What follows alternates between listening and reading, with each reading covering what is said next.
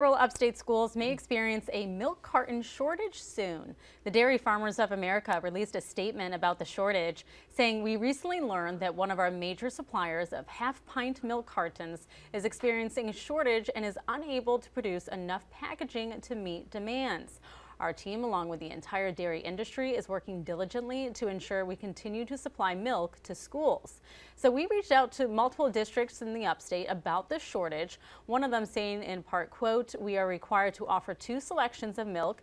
If it comes to the point that we are unable to get two selections, we would have to request a waiver from the State Department.